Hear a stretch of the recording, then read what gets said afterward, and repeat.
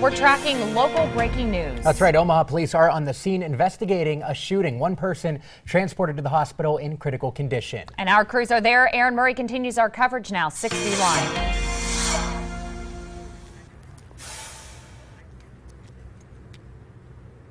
That is correct. We are here live at 50th and Hickory Street. Police are investigating a shooting.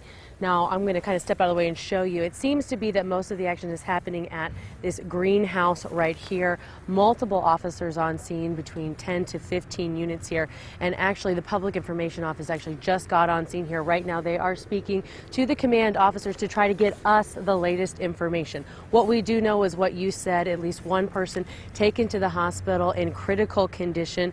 We're not sure who fired those shots, but we are working to get you that information. Again, pretty fluid scene at this point. We're working on the latest details.